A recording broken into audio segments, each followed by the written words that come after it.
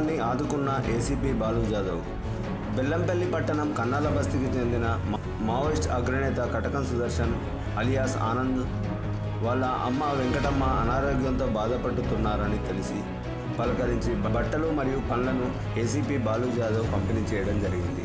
ఈ కార్యక్రమంలో one town SHO రాజు కూడా పాల్గొన్నారు. బెల్లంపల్లి నియోజకవర్గం కాంగ్రెస్ నాయకురాలు దుర్గా భవానీ పాదయాత్ర.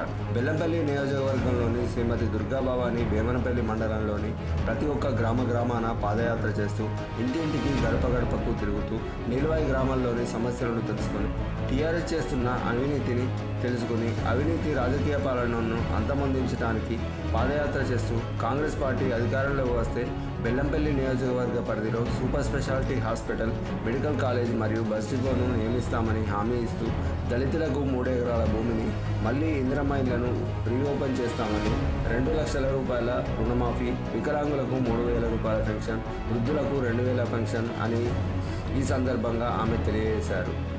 వాలీబాల్ అసోసియేషన్ ఆధ్వర్యంలో సమీక్షా సమావేశం. హాజరైన మంచిర్యాల సిఐ మహేష్.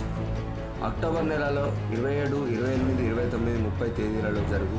తెలంగాణ రాష్ట్ర అంతర్జిల్లాల సబ్ జూనియర్ వాలీబాల్ పోటీల ఏర్పాటు కొరకు ఈరోజు జిల్లా వాలీబాల్ అసోసియేషన్ ఆధ్వర్యంలో సమీక్షా సమావేశం నిర్వహించడం జరిగింది.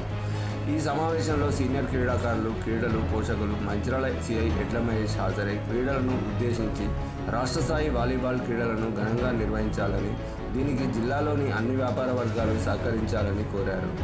జిల్లా వాలీబాల్ అసోసియేషన్ అధ్యక్షుడు మున్సిపల్ వైస్ చైర్మన్ నల్లశంకర్ మాట్లాడుతూ క్రీడల సహకారంతో రాష్ట్ర వాలీబాల్ పోటీలను ఘనంగా నిర్వహించడానికి ఏర్పాట్లు చేస్తున్నామన్నారు.